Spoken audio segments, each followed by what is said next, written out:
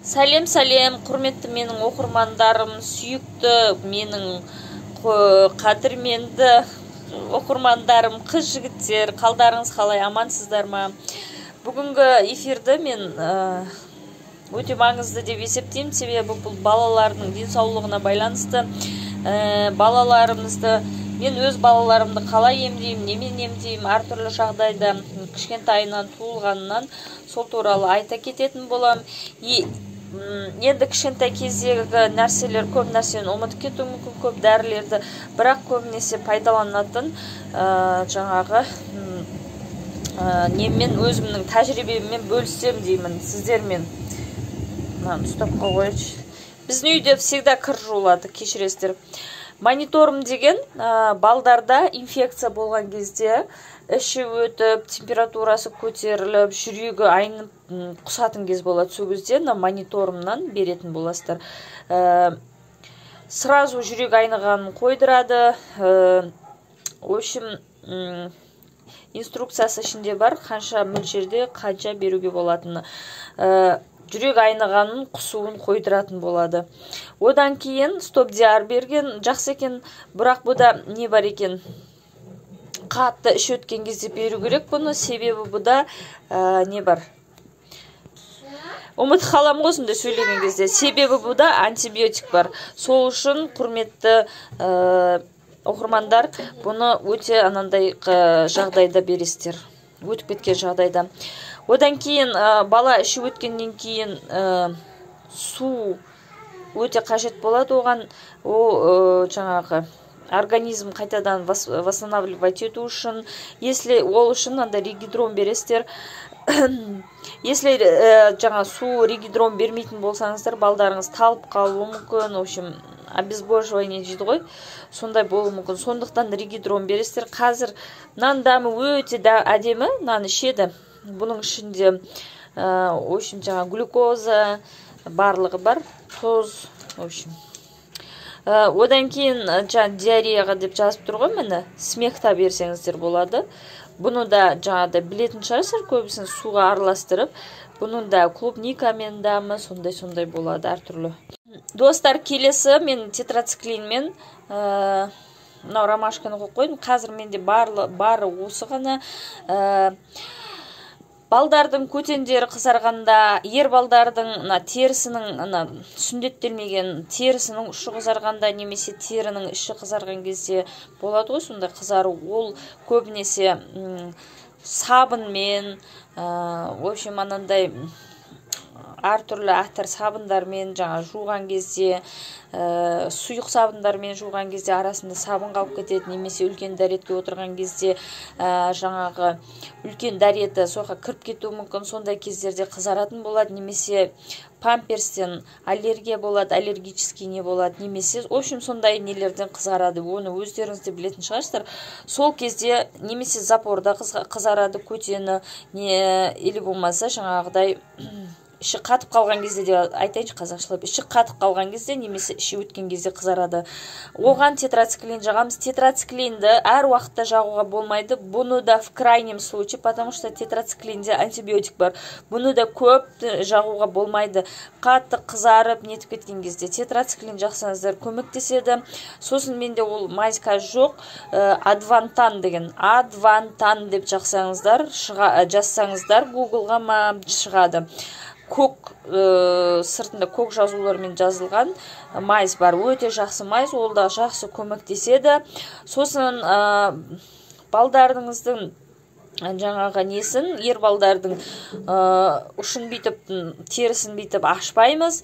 Ә, терісін қайтаға жинап шприцке ромашканы демдеп алып ромашканың суын шайын демдеп алып сонымен шайсаңыздар болады. Немесе ә, тұзбен. Болды. Басқа ештеңенің керегі жоқ. Ә, солай.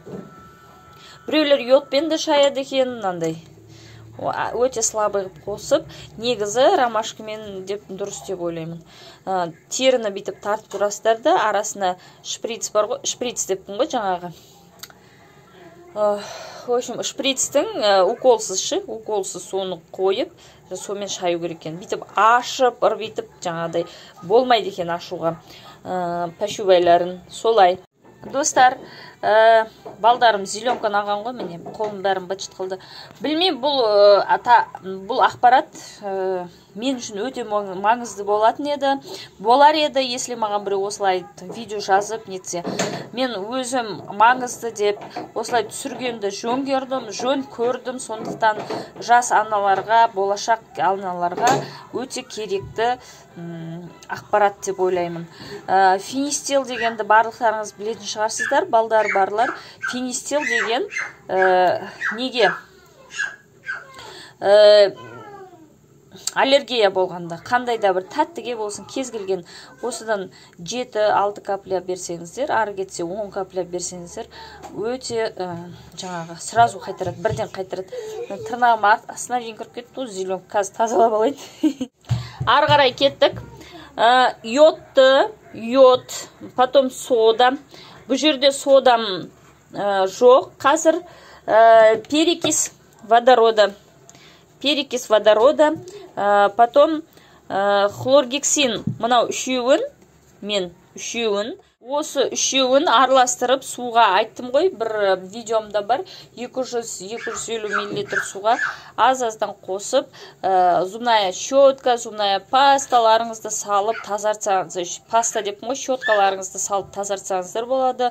Сонымен қатар ауыздың ауызды шайсаңыздар болады 30 секундтай ә, бактериялардан тазалайды. Ауызды шайған кезде нан қоспай ақ қойыңыздар. Себебі мынау керекті де керек еместі де бактериялардың бәрін өлтіріп тастайтын болады. Ә, солай кеттік ары қарай. Ә, мұрын бітелген кезде мынау аквамарис деген өте жақсы осымен істеймін жақсы көмектеседі мұрын бітелген кезінде ә, тамақында шайғанға мынау ә, морской ә, не ғой тұз ғой. Ә, сосын ә, тәбеті ашылмай тәбеті неғып тұрғанда мына цевикапты беремін аскорбин қышқылы витаминка в общем сондай осындай береміз.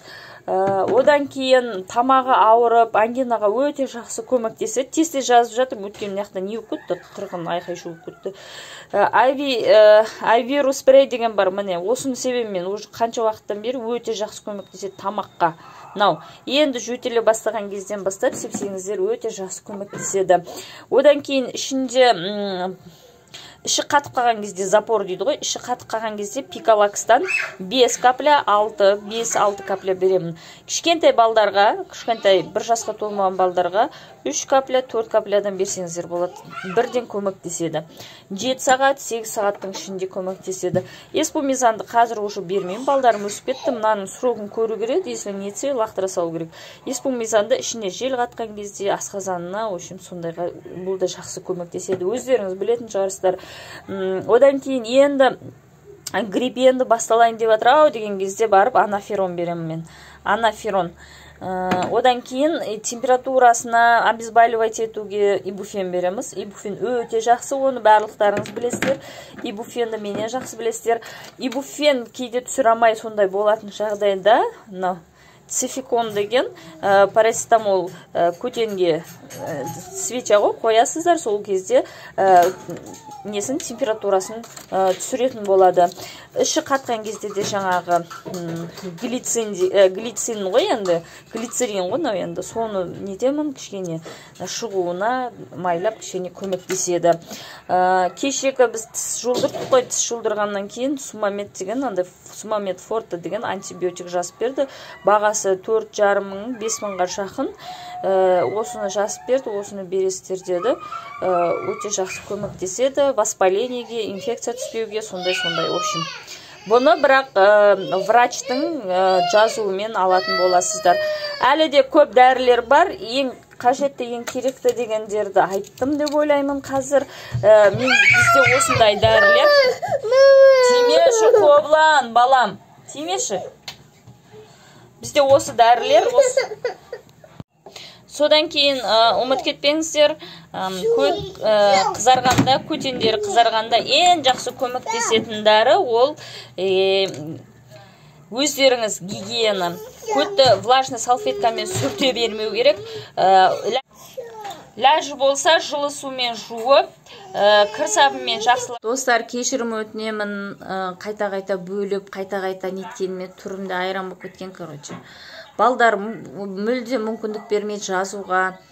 Айтайын дегенім балдардың көтені қызармау үшін ең жақсы нәрсе көтендерін влажный салфеткамен сүртуді қойыңыздар. В крайнем случае оны ә, көшеде жүрген кезде ә, қонаққа барған кезде сондай кезде сүртуге болады. Бірақ если қонаққа барсаңыз мен қонаққа барсам да жуып жүремін ше бүлдіріп қойса кішкентай кезінен.